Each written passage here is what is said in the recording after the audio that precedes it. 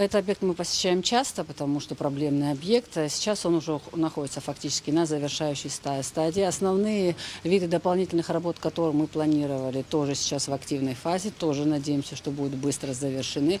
А работы по основному корпусу, как вы видели, тоже фактически на завершающей стадии.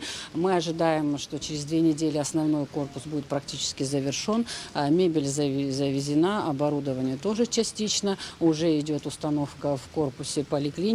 А Значит, соответственно, далее будет устанавливаться все здесь. Мы, конечно, рассчитываем на то, что темпы а, строительных работ, которые ведутся на объекте, не будут снижаться. Сейчас, конечно, немножко погода мешает, потому что здесь очень много а, работ на улице по благоустройству, забору и так далее. Но, тем не менее, работы ведутся. На объекте порядка 40 человек задействовано. Сейчас данное указание немножко увеличить по дополнительному корпусу. В целом, ну, на данном этапе сегодня могу сказать, что я удовлетворена результатами.